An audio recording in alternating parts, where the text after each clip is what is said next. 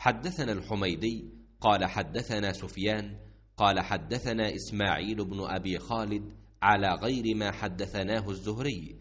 قال سمعت قيس بن أبي حازم قال سمعت عبد الله بن مسعود قال قال النبي صلى الله عليه وسلم لا حسد إلا في اثنتين رجل آتاه الله مالا فسلط على هلكته في الحق.